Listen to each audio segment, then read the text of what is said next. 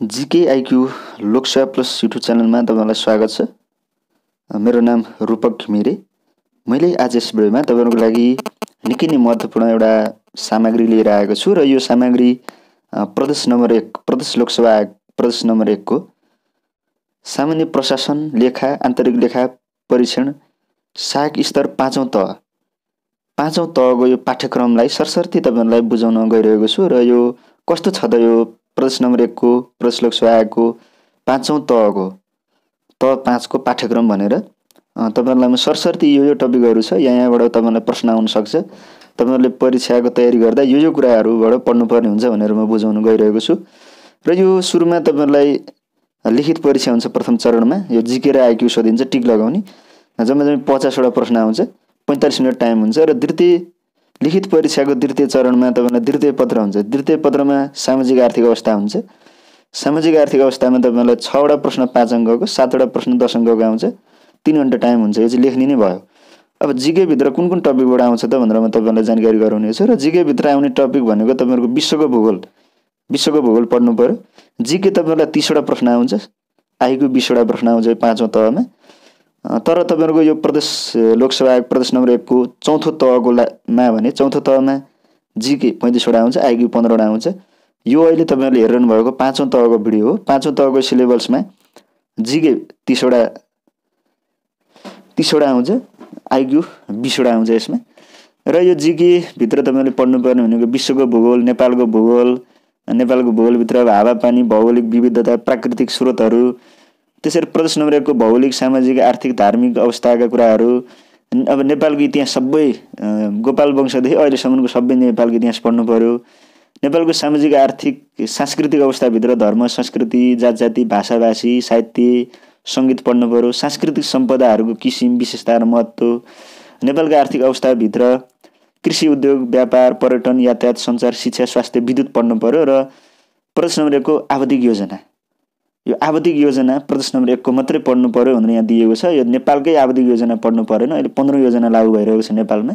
प्रदेश नम्बर एकको आवधिक योजना पढ्नु भए पुग्छ नेपालकै पढ्नु परेन। त्यसरी विज्ञान प्रविधि र स्वास्थ्यभित्र यो विभिन्न विज्ञानका नवीनतम यो गतिविधिहरू भन्नाले तपाईँहरूको नयाँ नयाँ आविष्कारहरू त्यसै गरी यो जैविक विविधता सूचना र सञ्चार प्रविधि वैकल्पिक ऊर्जा क्रमय विकास इभोल्युसन वंशाणु स्वास्थ्य रोग खोप खाद्य पोषण सरसफाइ दैनिक जीवनमा प्रयोग हुने वस्तुहरू साबुन प्लास्टिक रेसा काँच मल र कीटनाटक कीटनाशक औषधि पारिस्थितिक पद्धति र वातावरणभित्र तपाईँले पढ्नुपर्ने भनेको यो पारिस्थितिक पद्धतिको परिचय प्रकार तथा जीव भू रासायनिक चक्र चक्र दिगो विकास वातावरण जैविक विविधता दुर्लभ पशुपन्छी र वनस्पति विश्वव्यापी उष्णता भनेको यो ग्लोबल वार्मिङ जलवायु परिवर्तन क्लाइमेट चेन्ज हरितगृह प्रभाव ग्रिन हाउस इफेक्ट ओजन तहको विनाश प्रदूषण वातावरण जनसङ्ख्या सहरीकरण बसोबास संयुक्त राष्ट्रसङ्घ सार्क बिमिस्टेक र आसियन। चौथो तहमा आसियन थिएन यो पाँचौँ तहमा आसियन एउटा थपिएको छ। युएन हो सार्क बिमिस्टेक र आसियन पढ्नु पऱ्यो पाँचौँ तहमा। त्यसरी तपाईँहरूको यो एक पोइन्ट दसको यो समसामयिक राष्ट्रिय र अन्तर्राष्ट्रिय गतिविधिहरू पढ्नु पऱ्यो र महत्त्वपूर्ण व्यक्तित्व तथा विचार र विचारहरू सम्बन्धी जानकारी। यो पढ्नु पऱ्यो त्यसरी आइक्यूभित्र तपाईँलाई बोध शब्द ज्ञान कोडिङ डिकोडिङ आइक्यू बिसवटा आउँछ।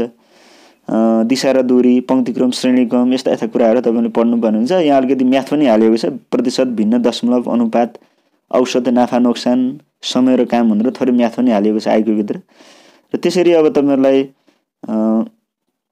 म अब यो द्वितीय पत्रमा कहाँबाट प्रश्न सोधिन्छ त भनेर त्यो द्वितीय पत्रको पनि जानकारी गराउनेछु। र तपाईँहरूलाई प्रथम पत्रको जिकेर आइक्यू यति नै हेरिसक्नुभयो। अब यो पाँचौँ तह प्रदेश लोकसेवा आयोग प्रदेश नम्बर एकको। पाँचौँ तहको द्वितीय पत्रको यसको शीर्षक रहेको छ सामाजिक आर्थिक अवस्था। यसलाई खण्ड कमा तपाईँहरूको खण्ड कमा तिसङ्गको प्रश्न आउँछ खण्ड कमा। खण्ड कभित्र तपाईँले नेपालको यो भौगोलिक अवस्था हावापानी जल सम्पदा वनस्पति वन सम्पदा आर्थिक विकासका पक्षहरू कृषि उद्योग व्यापार पर्यटन वैदेशिक रोजगार र जनसङ्गति आर्थिक विकासका सम्भागहरू सार्वजनिक क्षेत्र निजी क्षेत्र सरकारी क्षेत्र र सहकारी क्षेत्र र सार्वजनिक निजी साझेदारी। पिपिई भनिन्छ यसलाई public partner public private partnership PPP भनिन्छ। सार्वजनिक निजी साझेदारीलाई योहरू कुराहरू पढ्नुपर्ने हुन्छ। पढेपछि अलिक सजिलै लाग्छ। अहिले सुरुमा तपाईँलाई अलिक कस्तो कस्तो लाग्न सक्छ? तपाईँले पढ्दै गएपछि सजिलो हुन्छ। पाठ्यक्रम निकै नै सजिलो छ। योजनाबद्ध विकास क्रम र प्रदेश नम्बर एकको आवधिक योजनाको सामान्य जानकारी। यो प्रदेश नम्बर एकको आवधिक योजना त तपाईँहरूले माथि जिकेमा पनि पढ्नु पर्थ्यो। त्यही जिकेको कुरोलाई यहाँ ल्याएर फेरि पढ्नु पऱ्यो। जस्तै माथिको भूगोलहरू यो भौगोलिक अवस्था हावापानी जल सम्पदा वन सम्पदा यो आर्थिक अवस्थाहरू त माथि जिकेमा पनि आउँछ। तपाईँले जिकेमा पढ्नुभएको कुराहरू पनि यहाँ पनि पढ्नु पऱ्यो। जनसङ्ख्या व्यवस्थापन सहरीकरण र बसाइसराई जिकेमा पनि छ। यहाँ लेख्ने पेपर पनि पढ्नु पऱ्यो। वातावरण व्यवस्थापन जैविक विविधता वातावरण प्रदूषण यो फर्मुला व्यवस्थापन यो जिकेमा नि छ यहाँ नि पढ्नु पऱ्यो। दिगो विकासका लक्ष्यहरू र नेपालको अवस्था दिगो विकासका लक्ष्यहरू सत्रवटा लक्ष्यहरू छन् ती कुराहरू पढ्नु पऱ्यो ज्वलन्त विषयहरूभित्र गरिबी बेरोजगारी जनस्वास्थ्य खाद्य सुरक्षा सामाजिक सुरक्षा ऊर्जा सङ्कट सूचना प्रविधि र सामाजिक सञ्जाल यी कुराहरू पढ्नु पऱ्यो सामाजिक सञ्जाल भन्नाले फेसबुक वेबसाइट इन्टरनेटहरू भएर तपाईँलाई प्रश्न यसबाट के आउन सक्छ भने सामाजिक समस्याका बेफाइदाहरू सामाजिक सञ्जालका बेफाइदाहरू अथवा फाइदाहरू यस्ता यस्ता कुराहरू आउन सक्छ। अब प्रदेश नम्बर एकको प्रचलित प्रमुख धर्म जात जाति भाषाभाषी संस्कृति साहित्य आर्थिक एवं वातावरणीय अवस्था भनेको छ। यो प्रदेश नम्बर एकको मात्रै पढेको छ र खण्ड ख। खण्ड ख तिसँगको प्रश्न हुन्छ। यसभित्र चाहिँ नेपालको संविधान सङ्घीयताको अवधारणा भन्नाले सङ्घीयता भन्नाले के हो यस्ता कुराहरू आयो र सङ्घ प्रदेश र स्थानीय त नागरिक सचेतना नागरिक समाज कानुनको अर्थ कानुनका स्रोतहरू कानुनी राज्यको अवधारणा समावेशीकरण समानुपातिक प्रतिनिधित्व र सकारात्मक विभेद राज्य शक्तिको बाँडफाँड तथा सङ्घ प्रदेश र स्थानीय तहको अधिकार सङ्घ प्रदेश र स्थानीय तह बिच अन्तर सम्बन्ध स्थानीय न्यायिक अधि स्थानीय तहको न्यायिक अधिकार विवाद समाधान र मेलमिलाप स्थानीय कार्यपालिका व्यवस्थापिका र आर्थिक कार्य प्रणाली सम्बन्धी सामान्य जानकारी स्थानीय कार्यपालिका भन्नाले गाउँपालिकालाई गाउँपालिकामा गाउँ कार्यपालिका नगरपालिकामा नगर कार्यपालिका स्थानीय व्यवस्थापिका भन्नाले त्यहाँको अब गाउँपालिकाको गाउँसभा नगरपालिकाको भयो नगरसभा हुन्छ व्यवस्थापिका। यस्ता कुराहरू तपाईँले पढ्नु पऱ्यो मुद्दा मामिला र त्यसको प्रतिरक्षा सम्बन्धी सामान्य जानकारी भनिएको छ। खण्ड ग खण्ड गमा कार्यालय व्यवस्थापन छ। कार्यालय व्यवस्थापनभित्र अब अभिलेख व्यवस्थापन टिप्पणी का कार्यालयमा व्यवस्थापन सूचना प्रणाली एमआइएस बैठक व्यवस्थापन र माइनस लेखन। लेखा प्रणालीभित्र सरकारी लेखा प्रणाली र लेखा परीक्षण सम्बन्धी जानकारी। विनियोजन राज राजस्व धरौटी र जिन्सी श्रेष्ठ कर भन्सार र अन्तशुल्क कर त गैर कर राजस्वहरू राजस्व र खर्चको बाँडफाँड र प्रतिवेदन बजेट सम्बन्धी जानकारी स्थानीय तहको आर्थिक कार्य प्रणाली स्थानीय तहको अनुदान राजस्व अधिकार र परिचालन आर्थिक प्रशासन सम्बन्धी सूचना प्रणालीहरू एसयुटिआरए सूत्र आरएमआइएस टिएसए पिएएमएस सम्बन्धी सामान्य जानकारी सार्वजनिक सेवा प्रवाहभित्र सार्वजनिक सेवा प्रवाहको कुराहरू यसको महत्त्व अर्थ यसको तरिकाहरू सार्वजनिक सेवा प्रवाह गर्ने तरिका सार्वजनिक सेवा प्रवाहमा सेवा प्रदायको भूमिका र सेवाग्राहीको अधिकार र दायित्व। व्यक्तिगत घटना दर्ता यो त उता चौथो थरमा पनि थियो। व्यक्तिगत घटना दर्ता पञ्जीकरण भनिन्छ यसलाई। सार्वजनिक खरिद सम्बन्धी सामान्य जानकारी। प्रदेश सहकारी ऐन दुई हजार छहत्तरको परिषद दुईदेखि छसम्म पढ्नु पऱ्यो दुई तिन चार पाँच छ यतिवटा पढ्नु पऱ्यो स्थानीय सरकार सञ्चालन ऐन दुई हजार चौहत्तर पढ्नु पऱ्यो उता चौथो तहमा चाहिँ त्यो भित्र पनि कुन पढ्ने भनेर छुट्याएको थियो। यहाँ चाहिँ छुट्याएको रहन्छ। स्थानीय सरकार सञ्चालन दुई हजार चौहत्तर।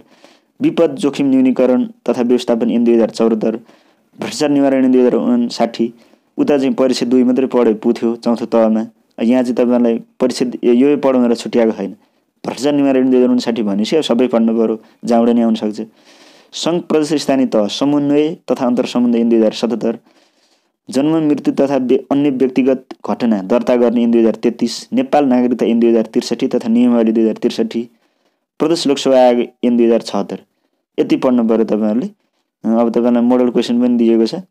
नेपालको वर्तमान संविधानको विशेषताहरू उल्लेख गर्नुहोस् भनेर पाँच अङ्कमा आयो। छोटो टिप्पणी लेख्नुहोस् भनेर तपाईँलाई two point five into two गरेपछि पाँच अङ्क भयो भने खाद्य सुरक्षा र नागरिक समाज। यो छोटो टिप्पणी भन्नाले अब खाद्य सुरक्षा भनेपछि यो खाद्य सुरक्षा भने के हो भनेर तिन चार लाइन लेख्नु पऱ्यो। यसको महत्त्व दुई तिन लाइन लेखेपछि तपाईँहरूको टु पोइन्ट फाइभमा वान पोइन्ट फाइभ टू आइहाल्छ यसरी तपाईँहरूले अब अभिलेख व्यवस्थापन भन्नाले के बुझ्नुहुन्छ यसको महत्त्व भनेको छ टु पोइन्ट थ्री गरेर यसरी तपाईँहरूले पढ्नुपर्ने हुन्छ। र आगामी दिनमा यस सम्बन्धी अन्य जानकारीमूलक भिडियोहरू पनि बनाउने हुनेछ र त्यसलाई तपाईँहरू यस युट्युब च्यानल पहिलोपटक हेर्दै हुनुहुन्छ सुन्दै हुनुहुन्छ भने सब्सक्राइब गर्नुहोला। सँगै रहेको घन्टी आकारको नोटिफिकेसन बेलमा क्लिक गरेर एएलएल अलमा क्लिक गरिदिनु भयो भने यस युट्युब च्यानलबाट अपलोड भएको नयाँ नयाँ भिडियोहरू तपाईँहरूको मोबाइलमा ल्यापटपमा सजिलैसँग तपाईँहरूले हेर्न सक्नुहुन्छ। र मैले विगत लामो समयदेखि तपाईँहरूको जानकारीको लागि महत्त्वपूर्ण भिडियोहरू बनाउँदै आइरहेको छु लोकसेवा आयोगसँग सम्बन्धित। र आगामी दिनमा पनि म भिडियोहरू बनाउने नै छु।